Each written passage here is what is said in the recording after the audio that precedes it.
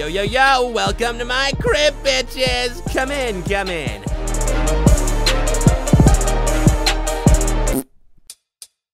Welcome! It's a pleasure to have you here in this nice little place that I share with my less popular half of the show. Speaking of whom, Culture didn't want me to show off the residence. Something about stalkers and rapists and shit, but luckily he's out for the rest of the day. And when the cat's away, the mice will play! Right here is our lounge room. Nothing too fancy, just a big TV, a couch, some films, and some video games. Culture and I often chill out here when we've got some spare time to kill.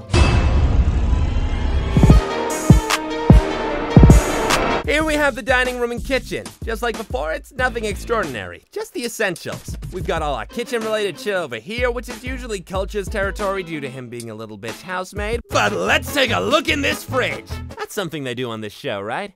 If you browse the shelves one by one, you'll find that we only have the necessities. We're humble as fuck, you know? Speaking of which, want to see the incredible amount of shit we have in the pantry? We're loaded!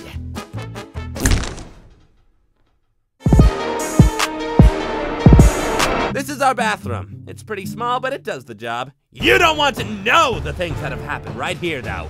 Holy shit. Horrific, horrific stuff. Now, ladies and gentlemen, I introduce you to my bang station, my sexy spot, my naughty venue, my seduction site. You know what? You get the idea. In this room, I have absolutely everything a man needs in order to survive everything. I could go into depth and give you guys a full on room tour, but I'll save that perhaps for another time. Here we have Culture's room, but let's be honest, nobody really gives a fuck about this, do they? This is the basement, which is where we like to store old furniture and things that aren't currently in use. It's also an ideal location to go and cry alone, but I wouldn't know anything about that.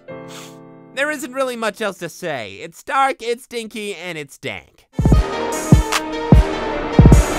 I know this place looks just like the basement, but believe it or not, we're in the roof right now, in the attic. Just like the basement, there isn't all that much going on here. It's just a space for storage. Or at least that's what culture thinks.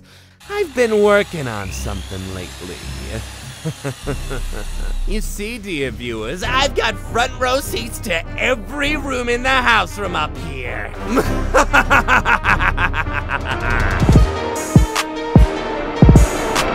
have yet another room that culture never enters. The panic room. Oh, and obviously I never come in here either, you know? I'm not a fucking pussy.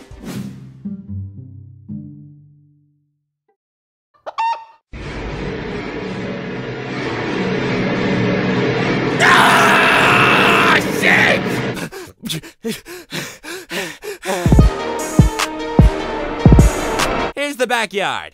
I never go to the backyard. I hate the backyard.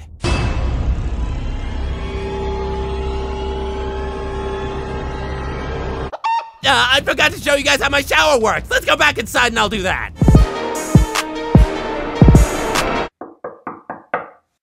Huh. Crash doesn't seem to be answering. I wonder if he's actually doing something productive in there for once. You know what? I don't even want an explanation. Culture, buddy, this is just a misunderstanding. Come back!